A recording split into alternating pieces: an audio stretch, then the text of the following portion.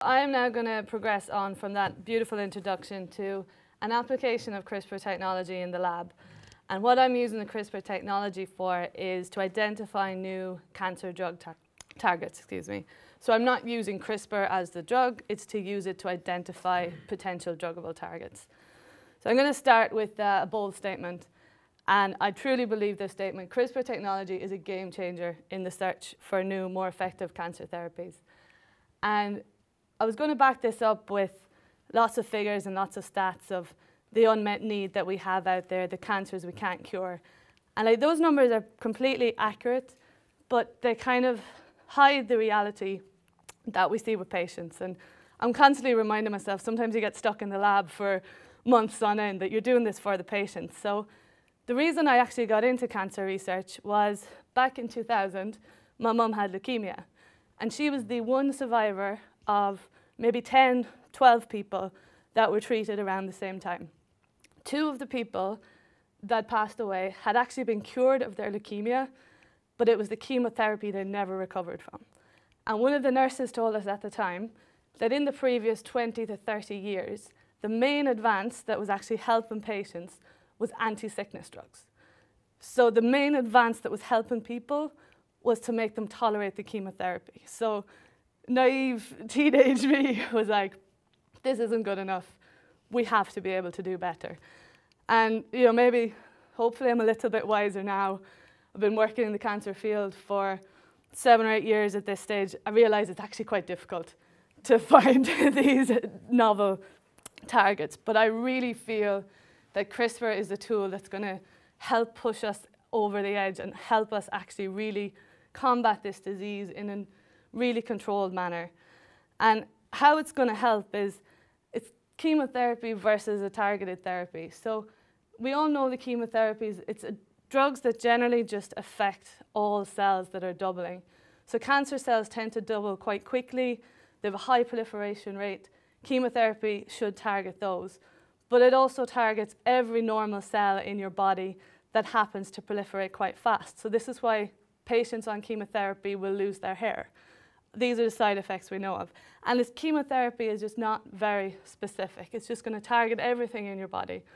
Whereas targeted therapies, if we can find a vulnerability in the cancer cell that's not present in the normal cell, and then we can develop a drug to target this, it's only going to target the cancer cells, and your normal cells should generally be okay. So this is where I think CRISPR can really just come to the fore because it's so efficient, it's so precise, and it really gives us the tool in the lab that we can find out exactly what's going on in these cancer cells.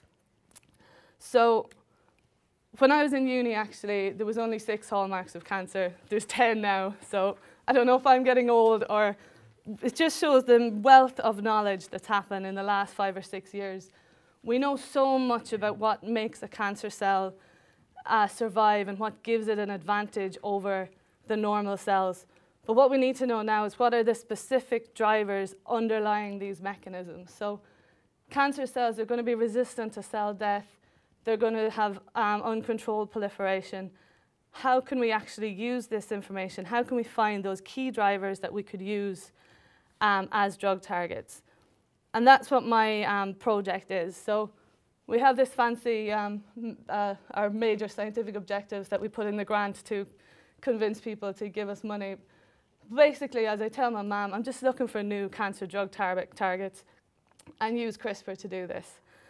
So how do I go about this? Um, I play a giant game of Kerplunk. I don't know how familiar you are with Kerplunk. So in the game, there's a bunch of uh, sticks that are supporting um, a bunch of marbles. One by one, you pull out a stick, and the aim is to not let the marbles fall. But you don't know what the function of a stick was before you pull it out. So you pull out a stick, there's three things that can happen. The first thing is no marbles fall. That stick was not essential to support the marbles. Exact same with CRISPR. I switch off a gene, the cell doesn't die. That gene was not essential to support that cell. You could pull out a stick in Kerplunk, some of the marbles fall down. Wasn't quite essential to supporting them all, but it did have a role to play. You're not quite as healthy in the game as you were before you pulled out the stick. In the cell system, when I switch off a gene with CRISPR, maybe I slow down a cell. I don't quite kill it, but I can slow it down, reduce the fitness. This is what we call a cytostatic effect. It's still useful, um, especially if you've got tumors that are growing that maybe you need to stop, and then um, surgery becomes an option if you can slow the growth of it. So it's still um, an important thing that we look for. And then the third and final um, outcome is you pull a stick and all the marbles fall. You are out of the game. And this is what I'm really looking for um, in my project. When we switch off a gene, can we kill the cell? If that cell dies, we've identified a gene that is essential to the survival of the cell. And any good drug is going to be killing our cancer cells. Like that's the real aim that we want to go for um, in this study. So as you saw in the last talk, um, you can go, Vincente's approach is gene by gene. You look at one gene, really deep, delve deep into the mechanism of it. Um, I work at Sanger and we like to do things big. it's, it's big or go home. So we are doing this at a genome scale. So how do I actually do this? So instead of having one guide RNA, um, I have a library of my CRISPR guides. So my library is over 100,000 guides. It targets 20,000 genes, so that's about five guides per gene. I will put this library on top of a pool of cancer cells. So we have a panel of over 1,000 cancer cells that have originally been derived from patients. Um, it's covering 30 different types of cancer. I'll put my library on top of the cancer cells.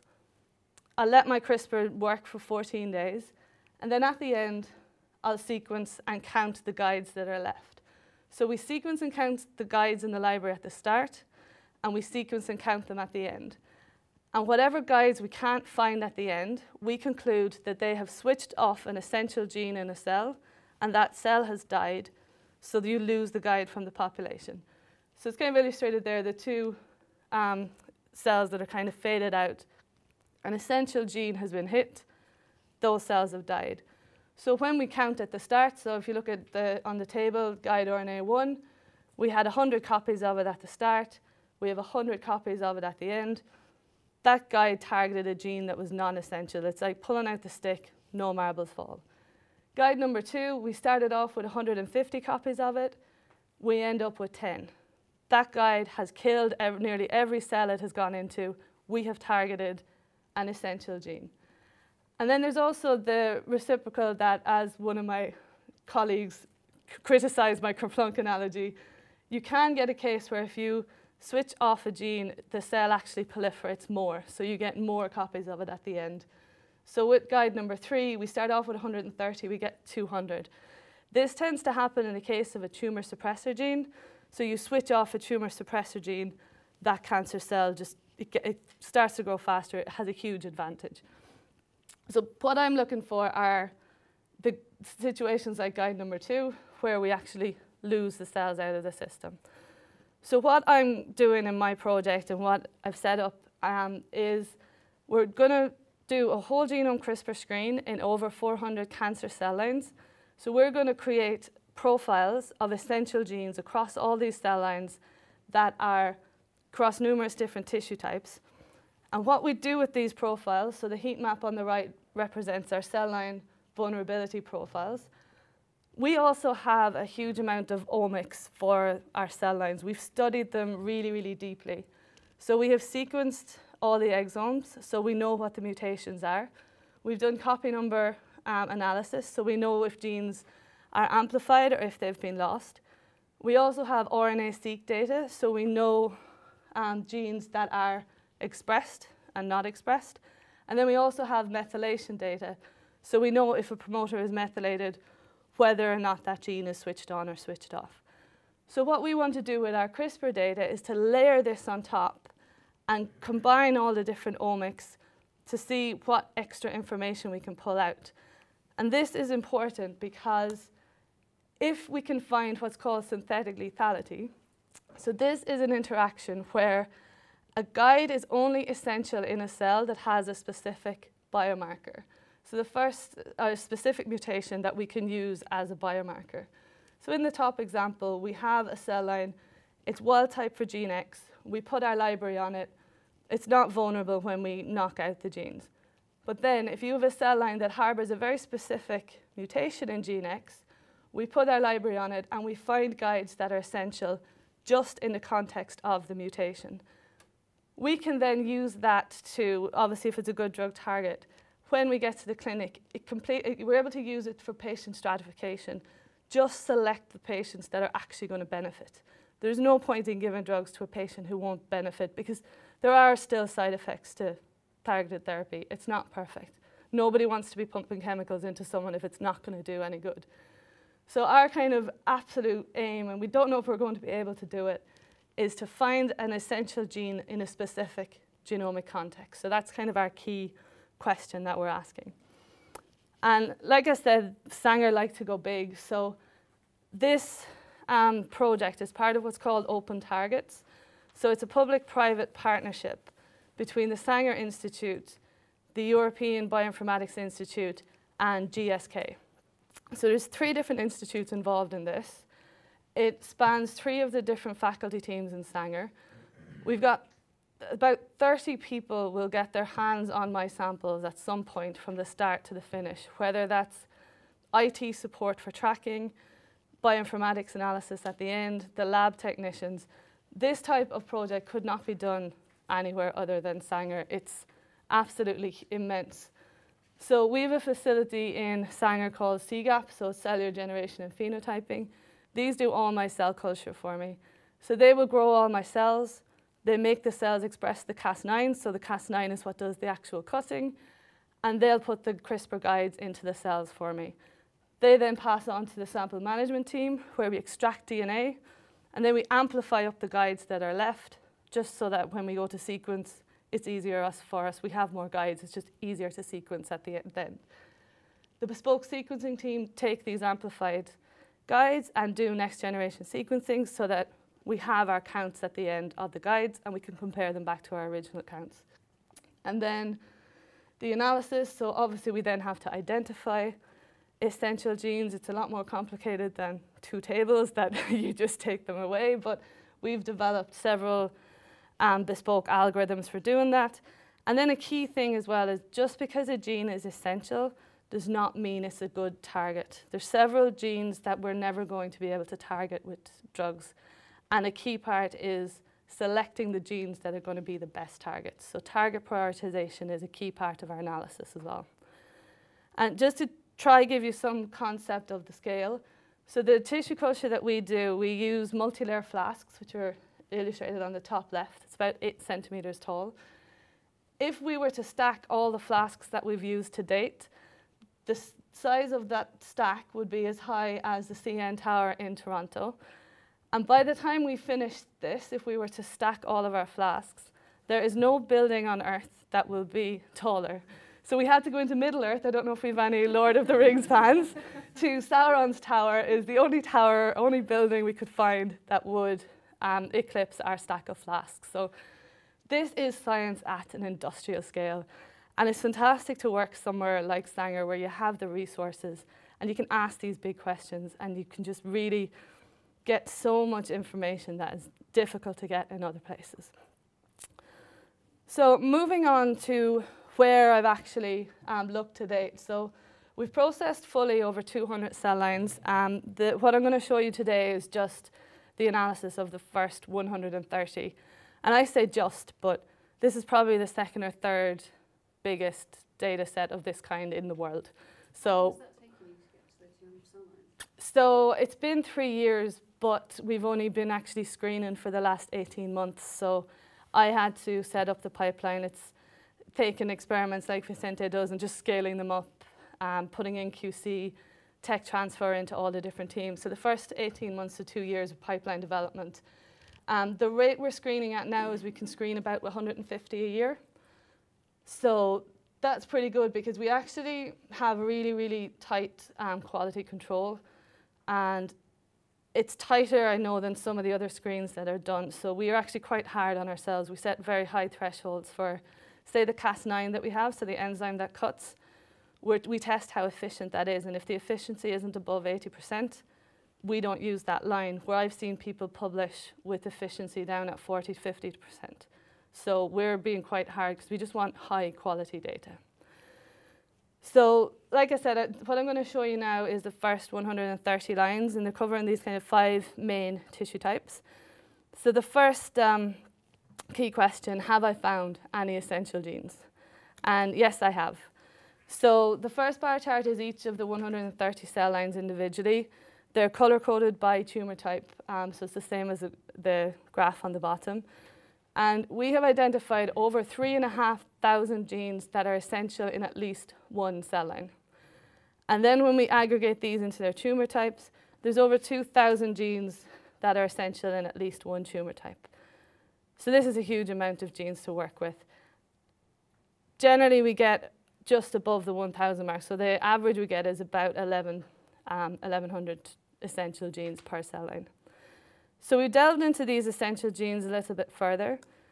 And the first thing we tried to identify were core essential genes. So genes that we have found that are essential in every cell line or every tumor type. And this is important because one of the drawbacks of this study is we don't have any normal samples. So I work with cell lines that grow on plastic in a flask. Cancer cell lines do that really, really well because of all the traits that make them cancer. They're aggressive, they grow fast, they don't really care what's around them. A normal cell is not going to do that. You can't grow a normal cell on plastic. And there are so-called normal lines available, but they've had to have been immortalized in some way. Some will have an SV40 virus put into them, some will have the telomerase mutated so that they're not going to die. They're not a clear representation of normal. So we decided to identify core essential genes with the theory that if a gene is essential in every cancer type we look at, chances are it's going to be essential in every single, in every single cell that, that is out there. So it's going to be core um, functions like ribosomal proteins. Or you're not going to survive without your ribosomal proteins your spliceosome, your DNA replication. So these core functions that we know are not good, good drug targets. So then the next question, like I said, was how do we prioritize? How are we going to actually select the best targets? So we developed a prioritization scoring system. So this is based on two types of information. So the first tier of information is the experimental data that I have generated. So have we found it to be essential? in, um, in the cell line, there's, we grade the different levels of essentiality as well. Sometimes when you switch off a gene, the cell just dies, it's gone. It was really, really essential. Sometimes it takes a little bit longer, so that maybe that's not as essential. Then the second context is the biological context. So we look at patient information for this. So like, is the gene mutated in a patient population? Or is it associated with a mutation in a cell that might be our th therapeutic biomarker. And we add these two scores together, and you can see in the distribution plot, the highest score that a, um, a gene can get is one. And you can see it kind of peaks around the 0.3 for two tissue types, so breast and large intestine or colon cancer. But you can see to the right, there is a tail of targets that seem to fulfill a lot of the criteria that we have predefined as making a good target. So where I'm going to focus is the genes that are getting close to one. So these are going to be highly depleted, they're going to be mutated in patients, they're going to be what we feel is most relevant to the disease. And then what was quite reassuring was in breast and colon, our top ranked targets were genes and gene products that are already being treated in the clinic. So there's already drugs for PIK3CA and RBB2, so that's HER2. RBB2 is HER2, and there's already drugs in the clinic targeting these. And then in colon cancer, KRAS and EGFR, and there is drugs available. So it was quite reassuring that we were pulling out known targets. But then there's a lot of novelty as well, and there's a couple here that are just really, really interesting that I'm not allowed to tell you in case there's some industrial spy in the audience. GSK wouldn't be too happy with me for that. Um, so then the GSK people have really come up trumps for us as well. So it's really great to be involved in this academic um, public uh, company partnership. So GSK have so much information on the tractability or the drugability of a target. So they've shared that information with us. And what they do is they have 10 different buckets and a target goes, goes into a bucket based on, it goes into bucket number one if there's an FDA approved drug on the market. And then it goes into bucket two or three if there's a drug targeting that gene or that gene product in clinical trials. And then as you go down, there's less information known. So the targets that we find in the higher numbered buckets, it doesn't mean they're bad targets. It means they haven't been studied as much to date. So they haven't been progressed as far. Some of them are going to be completely crap, never going to be a drug target, but you just have to kind of look into that. So that's been a real key benefit of working with GSK on this project. So as I said earlier, it'd be really great if we could find an essential gene that's linked with a specific genomic marker. And we found several of known, known associations. So these two examples here again are breast and colon cancer. It's well known that can breast cancer cells that are mutant for PIK3CA are dependent on, on PIK3CA. So if you switch off PIK3CA, those cells will die. Uh, but if you switch it off in the wild type, those cells won't die. So in the scatter plot on the left, the purple dots are the mutated cell lines, and their two axes are the depletion scores that we have generated from our CRISPR data. And you can see that all the purple dots converge on the lower scores. So the more depleted, um, the cell lines that are more dependent and are more vulnerable to PIK3CA inhibition are the mutant lines, whereas the grey dots are fine. They don't care that we've, um, that we've switched off PIK3CA. And then the bar chart as well illustrates that, just same data, different illustration. All the blue bars, it's enriched for the mutant lines. So the blue bar going down means that gene is depleted and that cell line is dependent on that gene. And that's enriched for the mutants. And then that's the same situation for KRAS mutants in colon as well. So one of the um, really interesting challenges is working with something like CRISPR. CRISPR is so new. There's a lot of things that we haven't quite figured out yet. And one of the things that everyone is witnessing is if there's a copy number amplification in your cell line, it seems to cause a bias for false positives uh, using CRISPR. So I'll go through it step by step. So if you have a chromosome one copy or your two copies of the gene, you hit it with CRISPR. If you hit a non-essential gene, your cell generally repairs it, it's fine, it carries on. It doesn't really even realize anything happened. In cancer cells, we frequently get these copy number amplifications. So instead of there being one site for the CRISPR, there's multiple sites along the chromosome that the CRISPR will actually cut. And the theory is that this will either completely overwhelm the cell based on toxicity because there's so many double strand breaks, or you end up losing a complete chunk of your chromosome. You lose a bunch of genes, you're not going to be um, able to survive. So these are actually seen as false positives. So these might not be genes that are essential. It's just because there's multiple copies, you're getting this different type of toxicity. So one of the first things we had to do was actually figure out, first of all, is it a problem? And it is. And second of all, can we correct for this bias in our data so that we don't get false hits just because there's multiple copies? So this is a real example. So um, this is chromosome 7 from one of our cell lines. You can see the blue lines on the top illustrate the copy number of the, each of these genes. And then you can see the middle, um, the middle section there, all those green dots are individual guides, and it, the fold change is if they're depleted or not so if they've been identified as essential. And if you focus on the brown bar, you can see that where we have this copy number amplification, where we have eight copies of this, there seems to be a bias for depleted genes in that region. But chances are you're not going to have multiple genes in one region that are all essential. So we actually correct for this um, using an algorithm developed by my bioinformatician from the European Bioinformatics Institute. So you can see on the bottom there that the black line evens out. So it's no longer um, influenced by the copy number, influenced by increased levels of depletion, but you still see single black dots that are actually the real hits. So we don't lose real hits, um, but we get rid of the false positives. And what this distribution on the right shows that non-expressed amplified genes, so it, if a gene is not uh, expressed, it should never be an essential gene. But you can see the light blue peak slightly to the left of zero. We are calling non-expressed genes as essential, but after we apply our correction method, it brings them back to center around zero. So these are clearly false positives and we're correcting for them, which is quite important for me identifying new targets. So I said at the start, targeted therapy is great, but there is some issues with it. Um, resistance can develop to targeted therapy. It can be because of the heterogeneous nature of a tumour. You might have a subset of the tumour that just has a second or third mutation that makes it resistant to your drug. Or cancer cells are, it's a really genetic unstable environment. They'll pick up extra mutations and they might acquire resistance.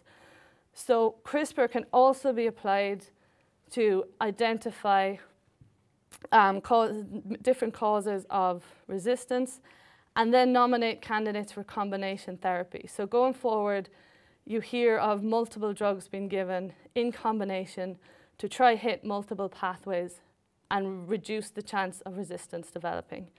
So a well-known example is dabrafenib resistance in colon cancer. So dabrafenib targets a very specific mutation of BRAF, and this mutation is also found in melanoma. Melanoma patients always, nearly always respond to dabrafenib. So they found the same mutation in colon, so they thought, let's treat with dabrafenib. But the colon patients were not responding, and they didn't know why. So years of research went into figuring out why dabrafenib wasn't killing BRAF mutant colon. And what they found was if you inhibit the mutated BRAF, this second signaling pathway kicks in. And to actually kill the colon cancer cells, you need to inhibit EGFR and BRAF at the same time. So the combination therapy is given in the clinic, targeting these two pathways, and that kills off the cell. So that took years of research and a lot of prior knowledge on cell signaling to figure this out. So as a proof of principle, I went in with my CRISPR to see if I could figure it out a bit quicker. And in a space of about six weeks, this is what I found. So instead of just putting my whole genome CRISPR library onto my cells, I put CRISPR onto my cells and I put the dabrafenib onto my cells. So the only cells that should die are the ones that have the dabrafenib and also have EGFR inhibited by my CRISPR. So my question was, can I use CRISPR to find EGFR? So I knew what the answer was. And what you can see here is, this is the layout of the experiment. The yellow branch is where I added the dabrafenib, and the black is my control. You can see with the over time in the graph on the bottom, my control, if you look at EGFR fold change, it does not change in the control. So EGFR is not essential in the control cells. Once you add dabrafenib, EGFR suddenly becomes um, essential, and you now have a candidate for a combination therapy. So what this means is that we can use CRISPR. So if we have a drug that we know should work in a cancer, but it's not, instead of having lots of prior knowledge on the signaling, we can just throw our whole genome CRISPR on it and see what genes come out in combination and what would be good candidates for a combination therapy. And this is just going to be so much quicker and so much more efficient than one single lab looking for this one combination for years and years. So I'm going to finish on the same statement I started with. Hopefully, I've convinced you that CRISPR technology is a game changer. If I haven't, just think of it this way. I've described one application of CRISPR, so the knockout, the switching off of genes. We can also activate genes using CRISPR. We can also inhibit the genes, but not completely cut them, so they're not completely switched off. We can inhibit them, we can turn them back off. Like Vicente illustrated, we can introduce specific mutations.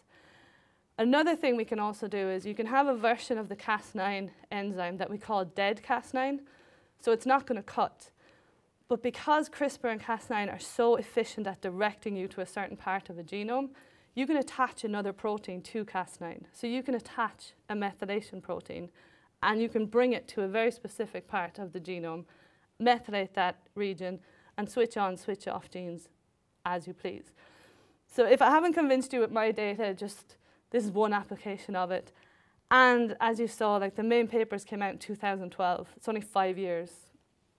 Who knows where we can go next? So hopefully I've convinced you a little bit. I'm convinced and I do look at it all day, every day though. But just to thank, uh, this is a huge project, um, thank everyone involved, specifically my boss, um, Matthew Garnett, who himself and Kasuke came up with this concept and applied to open targets for the funding. And then somehow I convinced them to give me a job to have an opportunity to work on this. So huge thank you to them and everyone who's involved. And thank you for your attention.